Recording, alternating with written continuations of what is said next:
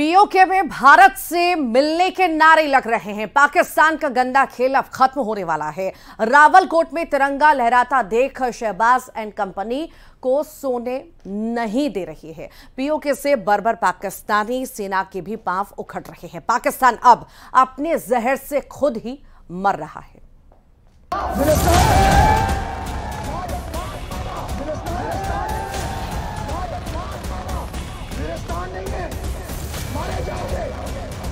नहीं पीछे हटेंगे हमारे पास खाने के लिए कुछ नहीं है तुम्हारे कानून निज़ाम नहीं तो खत्म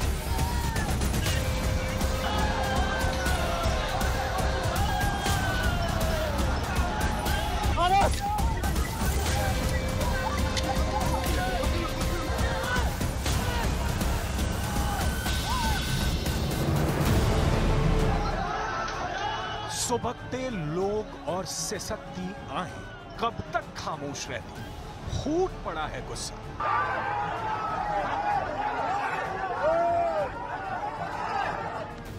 विरोध की चिंगारी अपने सबसे प्रखर रूप में प्रज्वलित है और सत्ता अत्याचार के अपने सबसे आखिरी चरण में क्रूरता के नए किस्से गढ़ रही है।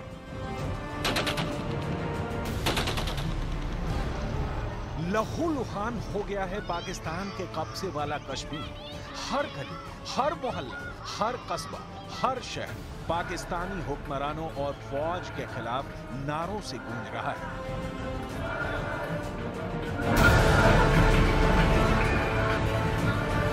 ये जो गुंडागर्दी है, इसके पीछे वर्दी है।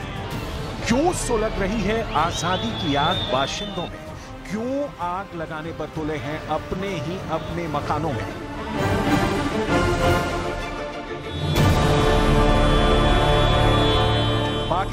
के खिलाफ विरोध का परचम फहराने वाले ये कौन लोग हैं, जिन्हें जिना के पाकिस्तान में अब एक पल भी रहना कबूल नहीं है? कौन है ये लोग जो मुलाजिमों के, पुलिस वालों के फौज के सामने सीना चौड़ा किए खड़े हैं? चला सको तो चलाओ गोली, उड़ा सको तो उड़ा दो तोप से। पीओके के जलजले की एक एक तस्वीर आपको दिखाएँगे। आगे आपको बताएँगे कि आवाम को कुचलती पाकिस्तानी आर्मी के बूटों का खौफ कैसे पीओके के जहन से हमेशा हमेशा के लिए दूर हो गया है। नतीजा सामने है। पुलिस आवाम को कुचल रही है और आवाम पुलिस को कूट रही है।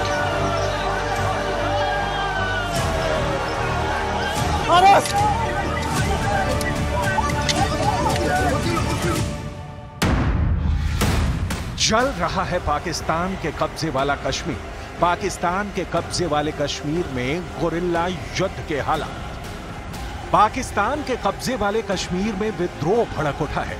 जनता पाकिस्तान की सरकार के खिलाफ सड़कों पर उतरी हुई है।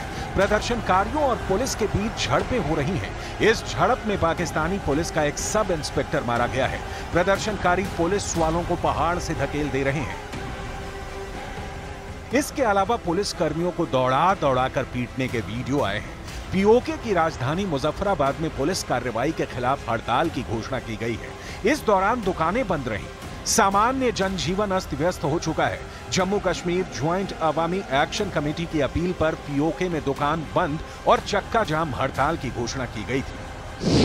पीओके के समाहनी सेहंसा, मीरपुर, रावलकोट खोईरट्टा तत्तापानी और हट्टियन बाला इलाकों में विद्रोह चरम पर है। मुजफ्फराबाद में पुलिस ने प्रदर्शनकारियों पर आँसू गैस के गोले छोड़े और फायरिंग भी की। पाकिस्तानी सरकार ने पीओके में धारा 144 लागू कर दी है। इसके बावजूद सड़कों पर हज़ारों लोग उतर आए हैं। ऐसी भी तस्वीरें आई हैं जिसमें दिख रहा है कि पीओके की पुलिस लोगों पर निशाना लगाकर गोली मार रही है। विद्रोह की नई आग जो भड़की है, उसका कारण समझिए। Jammu Kashmir joint Awami action committee 11 मई को मुजफ्फराबाद की ओर से लॉन्ग मार्च की योजना की घोषणा की थी। जेके जैक पीओके का एक अधिकार मंच है, जो पाकिस्तान की ओर से भारी भरकम टैक्स का विरोध कर रहा है। इस वक्त पीओके में आटे की कीमत भी आसमान पर है। यही नहीं, बिजली के बढ़े रेट लोगों को अंधेरे में जीने को मजबूर कर रहे हैं। विद्रोह भड़के नहीं, इसे देखते हुए पाकिस्तानी फौज की छह प्लाटून पहले ही बुला ली गई थी। मतलब जनता की मांगों को सुनने की जगह। उसका निदान करने की जगह पाकिस्तानी सरकार ने लोगों का विरोध को चलने की पहले से ही तैयारी कर ली थी। लेकिन इस बीच सरकार और फौज ये भूल गई कि ये इस्लामाबाद या कराची के भर के लोग नहीं है, बल्कि ये जबरन कब्जा किए गए पाकिस्तान के इलाके के लोग हैं, जिनके बीच गुस्सा पचहत्तर साल से परवान चढ़ रहा है। पिछले साल भी यही हुआ था, लेकिन हमेशा की तरह पाकिस्तानी आर्मी ने लोगों को मौत के घाट उतारकर विद्रोह को कुचल दिया। लेकिन अब की बार लोगों के दिल से फौज की दहशत ही गायब दिख रही है। लोग दौड़ा दौड़ा कर पुलिस वालों को पीट रहे हैं। विपक्षी पार्टी एजेके पीपल्स पार्टी के अध्यक्ष चौधरी मोहम्मद यासीन ने कहा कि प्रदर्शनकारियों की मांगे पूरी की जानी चाहिए। उन्होंने सवाल किया, गिलगित बाल्टिस्तान में गेहूँ का आटा और बिजली सस्ती है तो एजेके में ये सस्ती क्यों नहीं हो सकती? पाकिस्तान के कब्जे वाले कश्मीर के लोगों के साथ अन्याय और अत्याचार की कहानियों से तारीखें पटी पड़ी हैं। पाकिस्तान सौतेला व्यवहार करता है। जुल्म और हिंसा का मुद्दा संयुक्त राष्ट्र मानवाधिकार परिषद तक जा चुका है। लेकिन ऐसा क्यों हो रहा है? ये समझने के लिए एक बार फिर पीछे की तरफ़ चलते हैं। ये कहानी शुरू होती है साल उन्नीस से।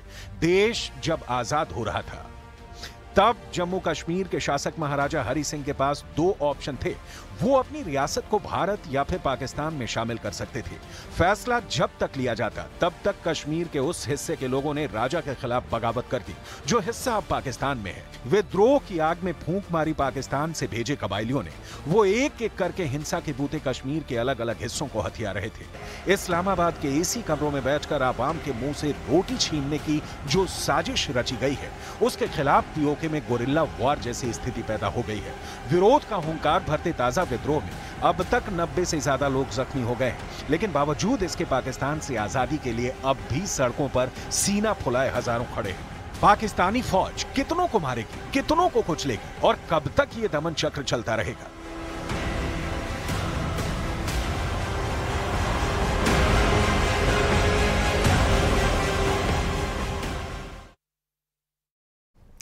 और इसी के साथ ही फ़िलहाल के लिए बुलेटिन में इतना है।